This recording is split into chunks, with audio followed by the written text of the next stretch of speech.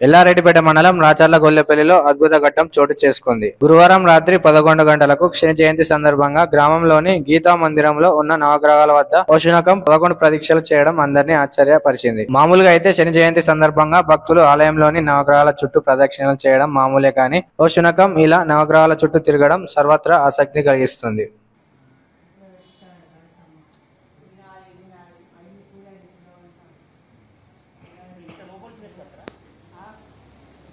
కుక్క పిల్ల చూడండి.